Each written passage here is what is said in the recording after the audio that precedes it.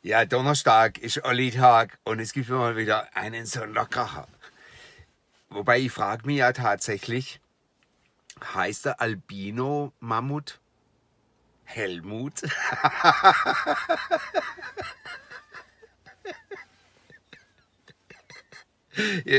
Kennt ihr ja schon wieder aufhören.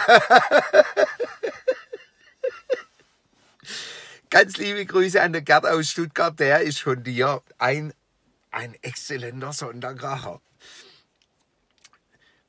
Mann und Frau, der Rigobert und Zieglin, das sind schon lange Paar und, und beide haben sie ihr kleines Problem. Zieglin, die hat unglaubliche Schweißfüße und der Rigobert hat ganz extremen Mundgeruch. Und so an dem Abend, wo er ihren Antrag machen will, sagt er zu ihr, du, ich muss da aber jetzt noch was verraten, was mich unglaublich stark beschäftigt. Dann sagt sie, du brauchst mir nichts sagen. Du hast meine Socke gefressen.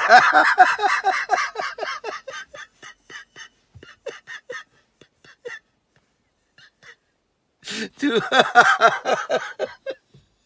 du hast meine Socke gefressen.